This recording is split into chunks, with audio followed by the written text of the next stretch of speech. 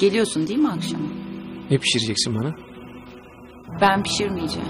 Leyloş'um sana harika şeyler göndermiş kargoyla. Ciddi misin? Neler? Her şey valla.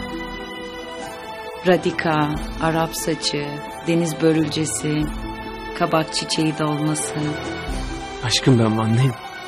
Ben de İstanbulluyum ama ban kahvaltısı yapıyorum.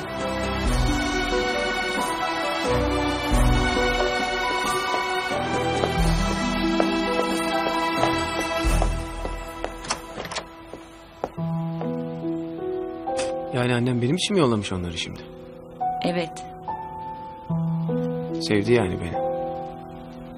tabii ki. Deniz börülcesini çok severim.